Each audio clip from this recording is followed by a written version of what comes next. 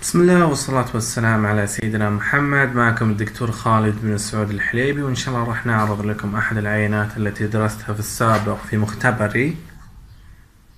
طبعا هذه أحد العينات التي درستها في السابق عبارة عن فصيلة من فصائل النمل. طبعا هذه الفصيلة آه، عبارة عن ذكور النمل. طبعا ذكور النمل عبارة عن مخلوقات آه، يوجد عليها مخلوقات ترجع إلى فصيلة من فصائل النمل. غالبا تكون يعني لونها أسود ولديها أجنحة للطيران. طبعا أنثى آه، النمل ليس لديها أجنحة إلا نادرا يعني. طبعا مثل ما تلاحظون شكلها شكل يعني نملة عادية جدا لكنها لديها أجنحة. وسبب الاحتفاظ بالأجنحة آه، لأنها تسافر فترات طويلة جدا وسفرها يكون بسبب وقد يكون راجع إلى آه، وجود آه، ملكة النمل في موقع معين.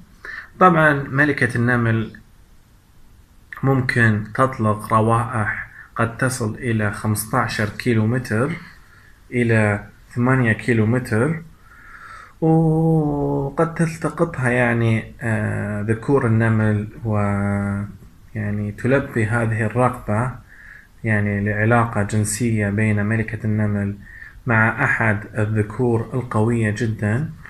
طبعا عندما يحصل آه، الالتقاء بين آه، ذكور النمل الطائرة مع ملكة النمل قد يكون لقاء واحد فقط. ممكن تموت بعد التلقيح مباشرة. وغالبا يكون عمر آه يعني ذكور النمل آه يعني آه مقيد بساعات معينة بعد التلقيح. تنتشر بنسبة كبيرة جدا في كل يعني مناطق العالم بالذات في الجزيرة العربية. طبعا عمر النمل لا يقل عن 60 مليون سنة على نهاية عصر الطباشيري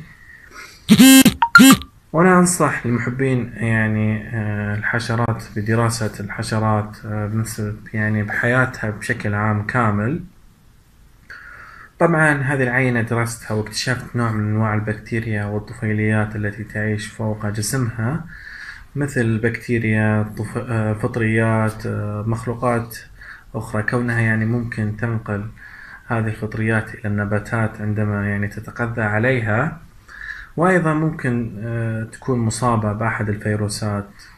يجب يعني أن نكون كباحثين حذرين جدا في التعامل معها.